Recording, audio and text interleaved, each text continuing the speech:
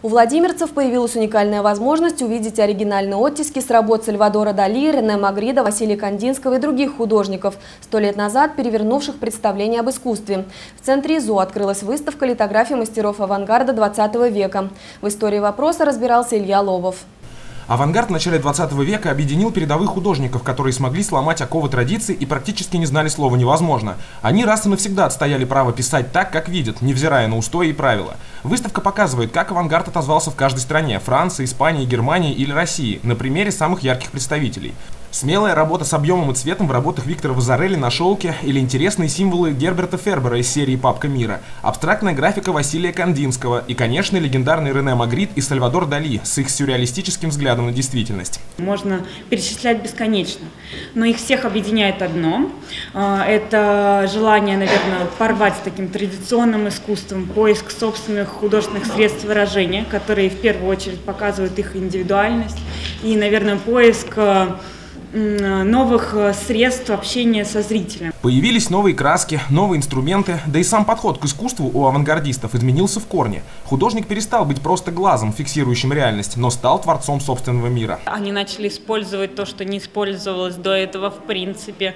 Они начали, э, допустим, какая-то эм, э, абстракция начала использовать чуть ли там не зубные щетки, чтобы на полотно свои эмоции вынести, чтобы показать их. Они начали какие-то э, делать чуть ли не бессознательные движения кистями. Они начали использовать э, на полотне вот фактически все, что они захотят.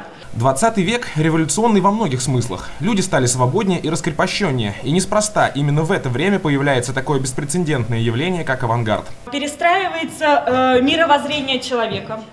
А человек э, начинает думать, мыслить по-другому, потому что приходит научно-технический прогресс, потому что э, человеку э, не нужно э, делать то, что он делал руками веками, э, перестраивается его образ мыслей, э, меняется мир, меняется движение вокруг, э, появляется психология, появляется фрейдизм, э, меняется человек в принципе, и, соответственно, меняется его искусство. Этот проект уже проехал полстраны, и в каждом городе его принимают по-разному. Владимирцы ему рады, ведь у нас увидеть что-то такое шансы появляются нечасто. Что-то увидеть, что-то новое, новых авторов, новые картины, необычное направление. Современное искусство, авангард 20 век. Вообще супер редко на самом деле. Очень-очень редко что-то завозят. Это же Владимир. Тут никому это не интересно.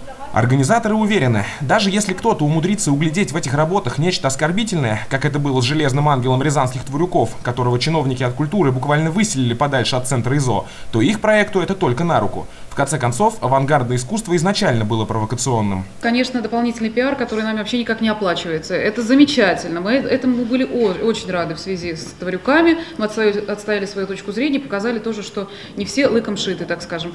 Сейчас эта выставка, если бы вызвала такой же резонанс, мы были бы только рады. Всех, кто хочет приобщиться к истокам современного искусства, ждут в областном центре ИЗО до 17 февраля.